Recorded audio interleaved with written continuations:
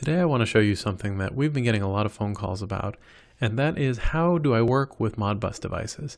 Specifically, how do I make them work with the rest of my monitoring system where I might use an SNMP manager and it's not compatible? This is an article from our website that I think is helpful. I'll go ahead and make this diagram a little larger. It all starts with the Modbus device in question. The most common thing we see are generators, but it really could be any device that uses Modbus.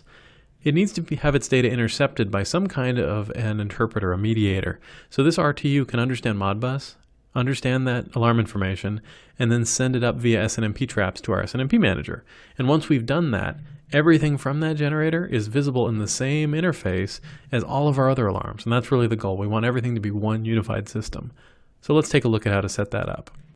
As an example of an RTU, I have a NetGuardian 16A web interface. We'll open that up. This is what it looks like right after you log in, and we'll start in the green provisioning section. You can see I have some menu sections for Modbus, and I'll go to Modbus devices. The poll delay and the poll timeout, those defaults are fine unless you know you need to change them, so we'll leave those alone. And for the device type, I have Generac H100 and generic. Because I'm not setting up that particular Generac generator here, I will choose generic the IP address, where can I find this device on the network? I'll punch that in. TCP port 502 is usually correct, but change it if you need to. And the Modbus address is a number between 1 and 247. That is just the device's unique identifier in this string of Modbus devices. Because I only have one device in this particular string, it'll be address 1 and that'll be the correct value. So I will click Save now. We do need to write to the unit after we save a page worth of changes. It'll take about two seconds and then the write is complete. Now that we've created that device, we need to go back into provisioning and now we'll go past devices and go on to registers. So you can see we have capacity for up to 64 here. And in the very first one, I will choose the new device, device one, generic, that I created. I will give this particular register a description. And one of the most common things to do with the generator is you want to monitor your fuel level but I want to be as specific as possible for all my operators who are going to be looking at these alarms. So I will actually call it propane level, just to be a little more specific as to what this generator uses. Once I have that label, I'll go to details. Register number, you'll need to consult your manufacturer's documentation, but in this case, I'll say it's 4025.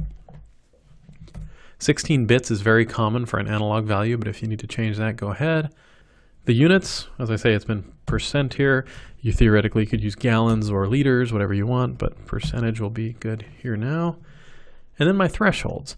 These defaults are intended for monitoring a string voltage, some kind of a power at neg 48. You can see they're surrounding a negative 48 value. Doesn't make any sense here for a fuel tank. So I'll go ahead and change everything. My major under, what's my red alert? When do I need to send a fuel truck right now? We'll call that 10% my minor under, what's my early warning yellow alert? We'll call that 25, say. And my over values, those make sense if I'm monitoring temperature or humidity or something, but here they don't make a lot of sense. So I'm going to push them outside of the range. So at 105 and 110, we should never really bump into those. And the dead band is used just to prevent flickering alarms. So a value needs to change by at least 1% in order to trigger anything at all. With all of that input, I will click Save. After the reboot, there's just one more thing we need to do, and that's to make sure that the NetGuardian will be sending SNMP traps in the way that we expect to our SNMP manager based on whatever it's learned from the Modbus registers. So we do that in derived alarms, and before we get going here, we do need to get a little bit of background on how all of the alarm space is structured, and we do that here in the display map. The display map lists everything this NetGuardian monitors, all of the discrete alarms, system alarms, analogs, digital sensor inputs, and even the Modbus registers. So you can see from what we have here that Modbus register 1 is our propane level. We just set that up. And the four thresholds that we set up, you recall we had the 10% and the 25% for our unders, those are already brought out. Those already have SNMP traps that are going to be associated with those conditions. So those are taken care of. But there's a lot more flexibility to the system than that. Let's assume that you don't have a standard 16-bit analog reading in your register. Maybe the 16 bits are used to represent 16 different discrete alarms. Well, there's no built-in handling of that, but you can set that up very easily. And what you just need to note is that on this line here, On display 28, points 9 to 32, those are the actual register values. So we can actually access those bits individually or hook them together with logic using the derived alarms area. So let's put this to the side. And let's say we consulted our manufacturer documentation and that first bit represents generator fail. So we'll type in a description here for generator fail. And then under the details, we have to tell it what it's going to grab to derive this virtual alarm that we're creating.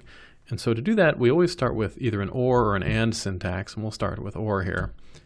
And it's simply display 28, 0.9, because remember from the map, 0.9 is where we start the range here. And we can click parse to confirm we got our syntax correct, and it looks like that was successful. So at this point, once I save this, that first bit of the Modbus register will be echoed out as this particular alarm that we've called generator fail. And we can do that so on down the line. If you wanted to create a range, say the first three alarms are the ones that matter, that's going to be 9, 10, and 11, well, we can just do a hyphen 11 there. And you can do all kinds of different equations here to control how you want to take Modbus registers and translate them into SNMP. So as you can see, the system is very flexible and it gives you a lot of control over how you want to turn Modbus into SNMP and get it into your SNMP manager. For more information about Modbus mediation, call DPS at 1 800 693 0351.